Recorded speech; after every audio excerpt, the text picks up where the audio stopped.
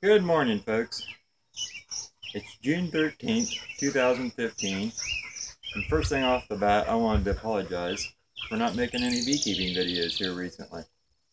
Um, my time's been taken up uh, doing some farming. I'm raising some broiler chickens and uh, managing a herd of, of Angus, black Angus, black and red Angus.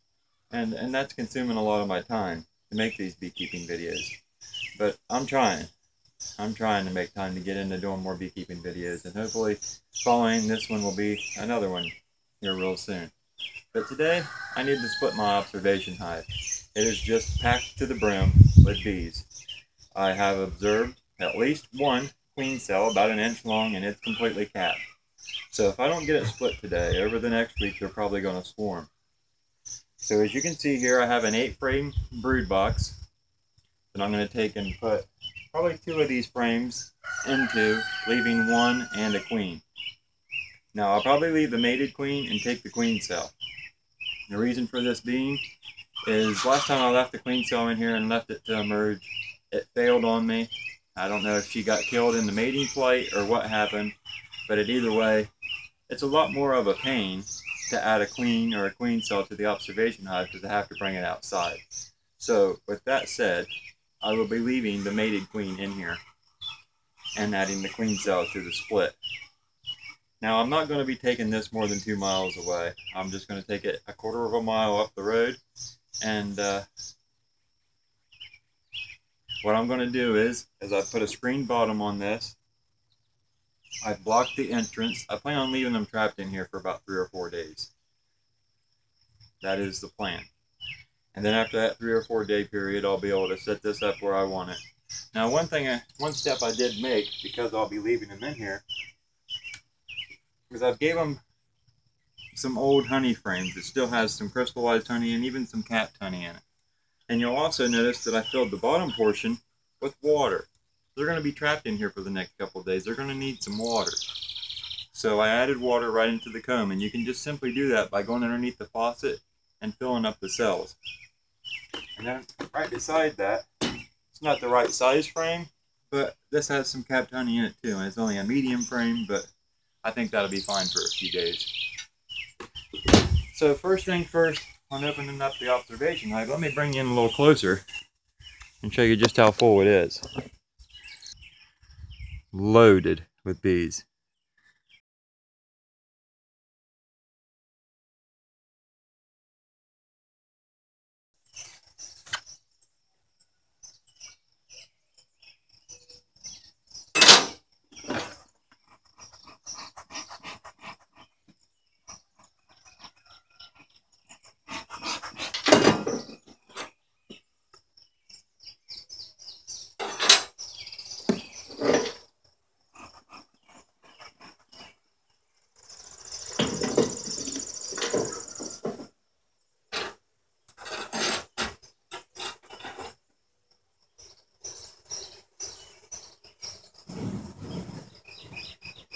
Boy, smelling them fan, you can hear the buzz, but it really smells like lemongrass.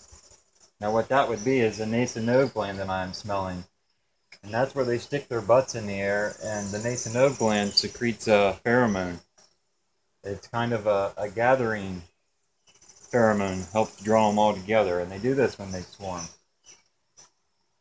So right now what I'm going to try and do as easily as possible is cut the wax around this top frame so I'm able to pull it out.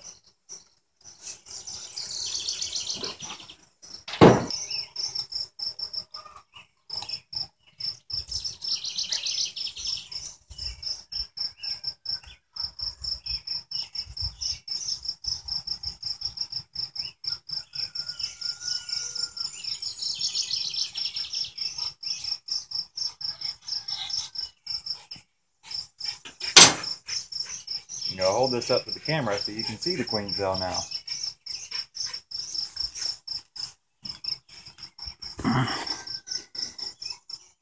Do you see it? Nice, big, beautiful queen cell.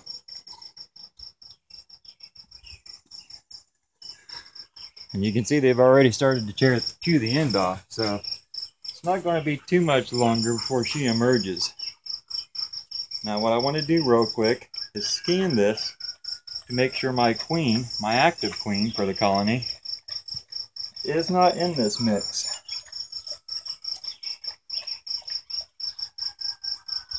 And I do not see her, but there is just so many layers of bees on this one frame.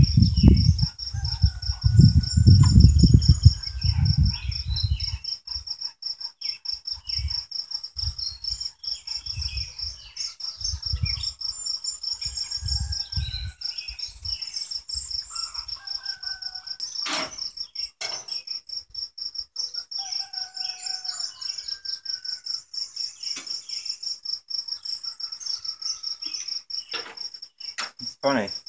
The queen was actually fluttering around right here on the bed of the truck, and I just set her up and put her on this bottom frame. So now's my chance to pull this middle frame out.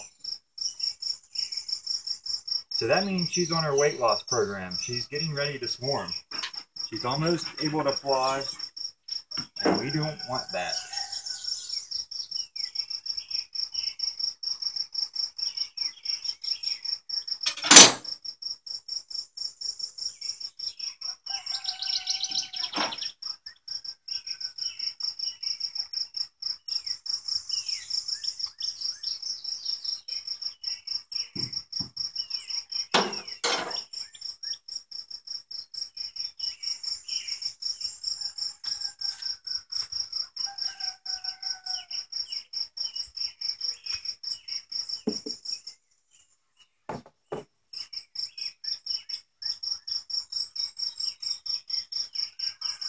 Two frame split, adding two frames to this colony.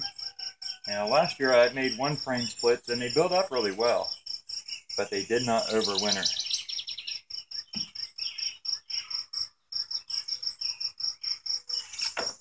Okay, so here's my plan. I want to add a, a frame with some drone comb and the wedge. That way I can get some wax drawn in here and actually watch them draw the wax out. I gotta clear the groove where the frame slides in so I don't squish any bees in this process.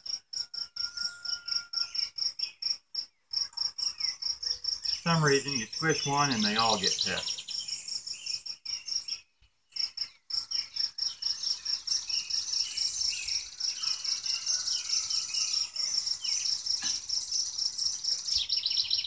Talk about girls that stick together. And then in the top, I've got a plastic Pierco frame with some drone comb.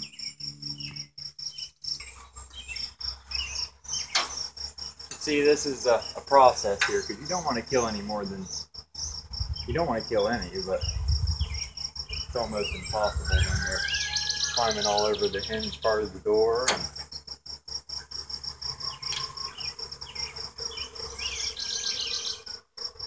basically what I do is just keep going in little increments like I'm doing here, trying to blow smoke around the, the opening to get them to go back in. What usually happens is it forces them to come out because they want fresh air.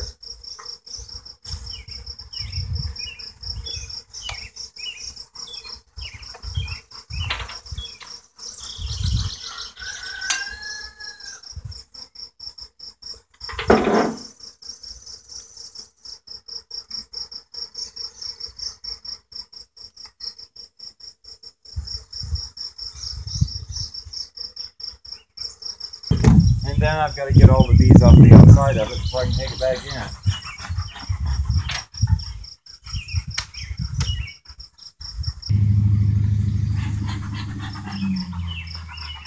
Okay, so I think I'm ready to take it right into the house and set it back up.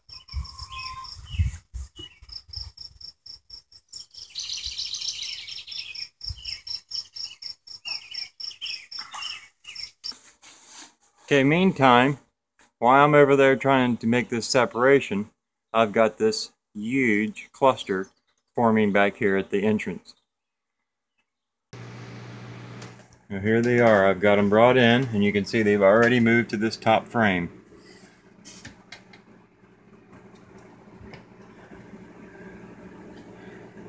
Don't see the queen right off the bat, but we know she's in here.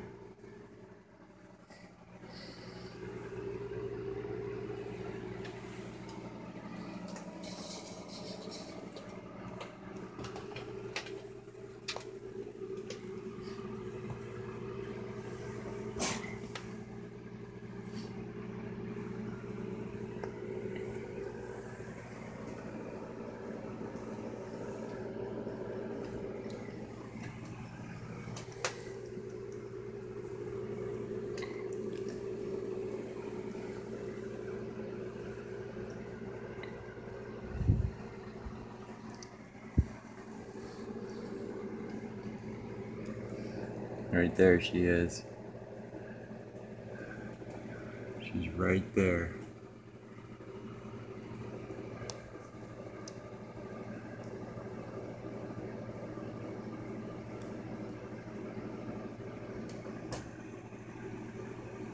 There, you see her? We've still got her in here. Things are looking good. Now, as long as I got all the queen cells out, we'll be fine. You can tell she was on that on that diet, almost able to fly.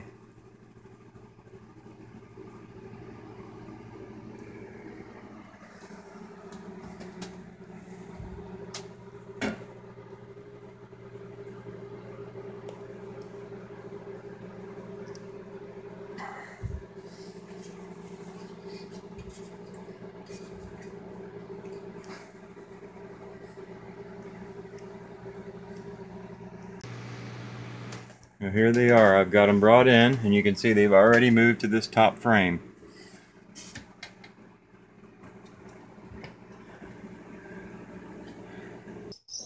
So there we go.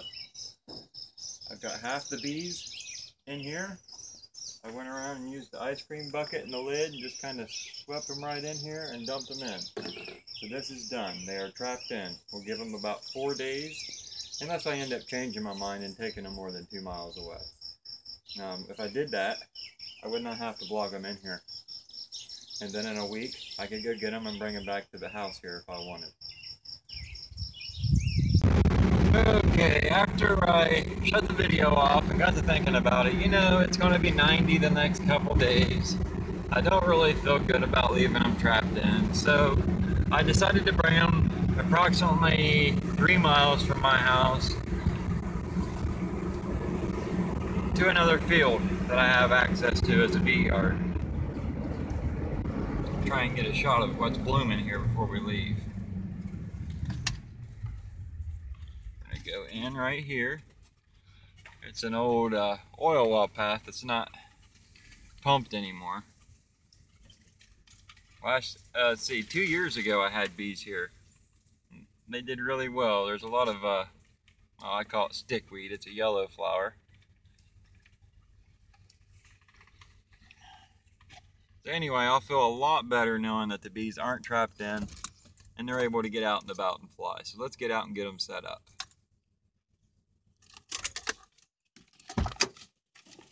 There's some of the thistle right there.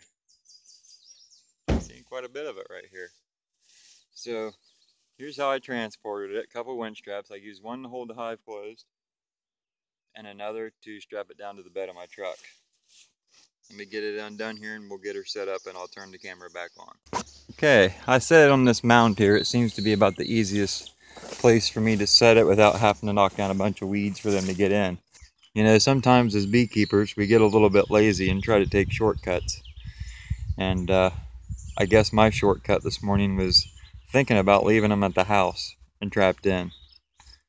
Now that's alright if you don't have a place to go. But the very best way is to move them two miles away. Play it safe. Let them fly. They're not meant to be trapped in on this hot weather. They're out. They're meant to be out working these uh, flowers and different things that are in bloom. So, free the bees. Now let's walk around here real quick and I'll show you some of the, I showed you the thistle. Here's some bird's foot trefoil. That's this little yellow flower. Right over here I see one plant. But all the way down the side of the road it's all over. And this here I believe is what they call hairy vetch. There's several different styles of this. Now at the house I have the crown vetch. I need to get some of this when I come back and uh, let it seed at the house. This here is the yellow stickweed, which it doesn't bloom for another month or so. Great nectar producer right there. And that's what all that is over there. Uh, I believe there's 110 acres here, so got plenty of room to, uh, I still got bees. I got bees making orientation flights off the bed of the truck. So anyway, I feel a lot better. Thanks for watching. And if you like these videos, give me a thumbs up. If there's something you'd like to see a video on, leave the suggestion down below. And at the end of this video, I'm going to leave a link to my farm channel. If you're interested in following along with my farming, please take a minute to go over there and check out some of my videos.